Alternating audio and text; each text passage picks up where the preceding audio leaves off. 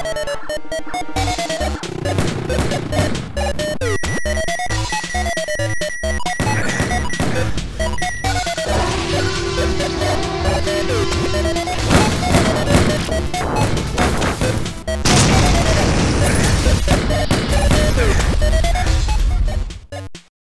og velkommen til øh, Rom og Bobby.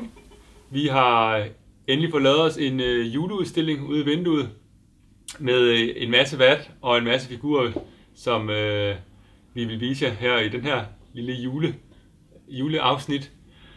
Vi har tænkt på nogle gode idéer til øh, julegaver. Nu er det jo snart jul, og vi har en masse ting her i butikken, og der er masser af ting, som er, er gode at kunne give folk her til jul. Noget, som vil være øh, oplagt, vil være en, øh, en håndholdt, for eksempel en øh, Gameboy, øh, eller en, øh, et bibibspil, fordi det behøver du ikke at slå til fjernsyn, og der er ikke en masse teknisk. De kan åbne den, og så kan de spille med det samme, proppe batterier i, som du kan give øh, med i gaven, og, øh, og købe nogle spil. Og øh, på den måde har din kæreste, din mand, din øh, nevø eller niece noget at lege med juleaften. En anden idé kunne være en øh, Viewmaster, som er dem, som vi alle sammen havde som barn, hvor at man, øh, man kigger i, og øh, så ser man et øh, billede i øh, 3D. Det er jo sådan lidt tidlige øh, 3D-briller. Øh, og den kommer allerede med nogle billeder i, og man kan købe nogle nye, man kan proppe i. Øh, ja, og ellers har vi en masse andre ting, altså spil og, og figurer, som, øh, som kunne være gode idéer til gave. Men jeg synes, de her to ting måske kunne være noget af det, som, øh, som jeg tror vil, vil glæde hos rigtig mange.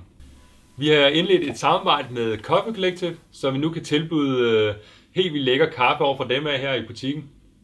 Øh, det er fedt, at vi kan bakke hinanden op herude på Nørrebro og kan hjælpe hinanden på den måde. Vi har rigtig travlt med øh, juleklip, øh, ikke med papir, men med hår lige for tiden. Så hvis du skal have en klipning inde i frisørsalongen, så er det en god idé at lige at bestille tid i øh, ja, nu, enten online på vores hjemmeside eller give et kald herind. Vi regner også med, at øh, i det nye år vi også øh, vil være klar med alle arcade-maskinerne, alle pinball-maskinerne her i butikken. Og ellers så vil jeg bare sige tak for nu, og fedt, I gider at se de her små film, og alt for alt den respons, vi har fået tilbage. Og øh, ja, hej hej.